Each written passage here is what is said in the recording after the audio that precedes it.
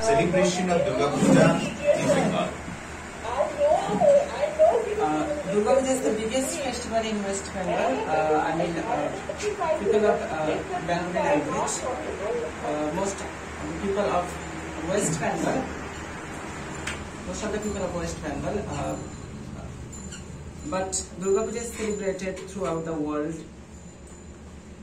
Okay. But Durga Puja is celebrated throughout the uh, world, like uh, USA, UK, Brazil, Australia also. And uh, we the Bengal people are uh, waiting for Durga Puja desperately.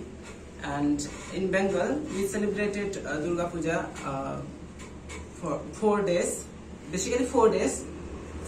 And we believe the power of power of uh, mother power of Devi uh, like sorry uh, power of goddess Durga and uh, Durga Puja also uh, Durga Puja also refresh our mind and it uh, uh, gives some kind of uh, some kind of charge that we need because uh, we are always busy in our uh, type uh, type schedule and uh, Durga Puja gives us this opportunity Gives us. gives us this opportunity to uh, uh, to spend some uh, quality times with our family, with our relatives also.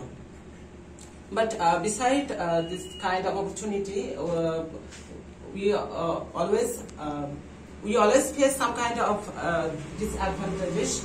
Uh, like in Durga Puja, we uh, basically the clubs or the organization do not do not maintain the proper sound system because um, they uh, create some kind of sound, sound pollution and uh, they are in uh, so much competition competition of uh, showing off how they decorate their pandals how they uh, arrange lighting how they uh, represent their pujas in front of audience or in front of all peoples.